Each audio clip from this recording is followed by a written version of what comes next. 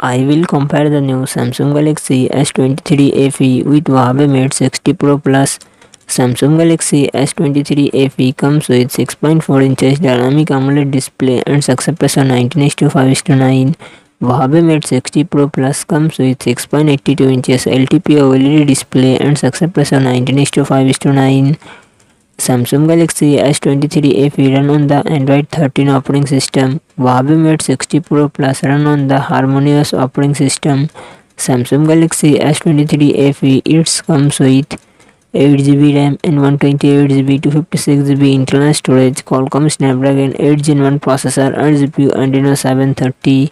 Huawei Mate 60 Pro Plus it comes with 16GB RAM and 512GB internal storage.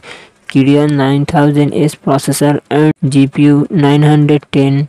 Samsung Galaxy S23 FE real set triple camera setup 50 MP plus 8 MP plus 12 MP and front camera 10 MP. Huawei Mate 60 Pro Plus real set triple camera setup 48 MP plus 48 MP plus 40 MP and front camera 13 MP. Samsung Galaxy S23 FE 4500 mAh battery 25 watt fast charging support. Huawei Mate 60 Pro Plus 5000 mAh battery 88 watt fast charging support